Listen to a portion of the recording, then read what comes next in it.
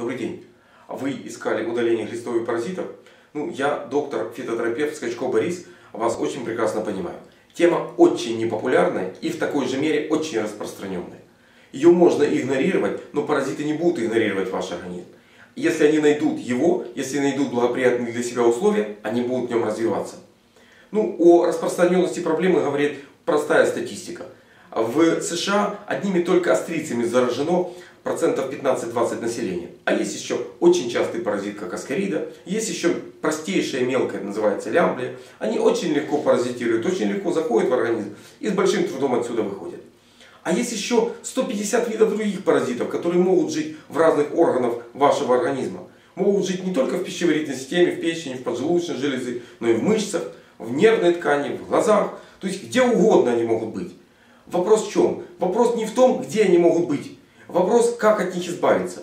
Я не буду вас пугать картинками разных видов фотографий, скажем так, паразитов и человека в разных взаимоотношениях. Ну, поэтому слабонервные могут оставаться перед э, монитором. Но э, я все-таки предлагаю удалить. Удалить главное место локации паразитов. Это все-таки пищеварительная система. Все-таки туда попадает большее количество пищи, и она там достается паразитам легче всего. И индикатор того, что они там есть, очень частый, это дисбактериоз кишечника. Это периодически вздутие живота, урчание в животе, нерегулярный стул, склонность к поносу либо к запору. То есть стул должен быть каждый день утром, э, после сна и во второй половине дня вечером. Если этого у вас нет, то у вас дисбактериоз уже присутствует. Вот. И нарушена работа кишечника. Если у вас даже стул не утром, а днем, это уже дисбактериоз. Это уже нарушение моторики. Я не говорю про более частый, когда понос, он людей быстрее выводит э, к врачу, к необходимости что-то делать.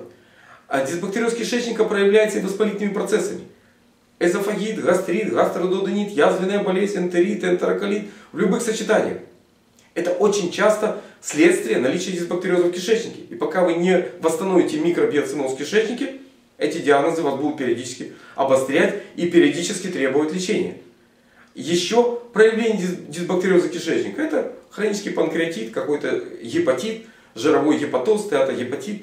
Большие пищеварительные железы неизменно участвуют в этом процессе. Это цель, это мишень для паразитов. Их задача подавить их активность, больше еды достается им. А вам больше токсинов и меньше витаминов и микроэлементов.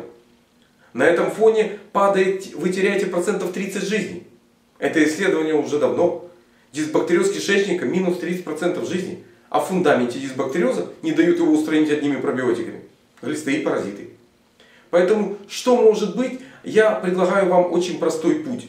Э, избавить вашу пищеварительную систему от паразитов, поднять в ней иммунитет настолько, чтобы новые паразиты, попадая туда, не приживались, а иммунная система их удаляла из организма. Если вам такая перспектива подходит, не вопрос, обращайтесь, контакты видите, лечение по методу доктора Скачко, оно эффективно и безопасно. Прежде всего для вас, ну а паразитам мы с ними разберемся. Обращайтесь.